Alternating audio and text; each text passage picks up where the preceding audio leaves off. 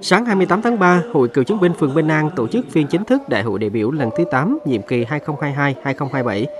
Trong 5 năm qua, dưới sự chỉ đạo lãnh đạo của Hội Cựu chiến binh thành phố và các cấp ủy đảng chính quyền địa phương, Hội Cựu chiến binh phường Bình An đã phát huy truyền thống bộ đội cụ Hồ, tích cực phối hợp với các tổ chức đoàn thể, các ban ngành tại địa phương, thực hiện tốt các phong trào thi đua yêu nước, triển khai hiệu quả các chương trình công tác hội, nhất là phong trào cựu chiến binh gương mẫu, học tập và làm theo tư tưởng đạo đức phong cách Hồ Chí Minh và toàn dân đoàn kết xây dựng nông thôn mới, đô thị văn minh.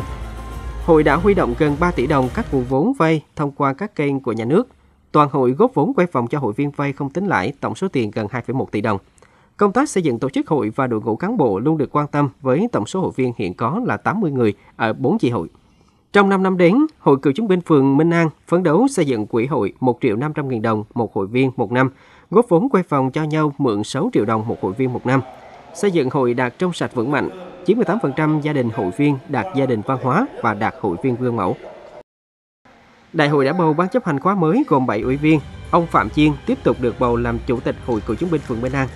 Đại hội cũng đã bầu 8 đại biểu, trong đó có một đại biểu dự khuyết dự đại hội cấp thành phố.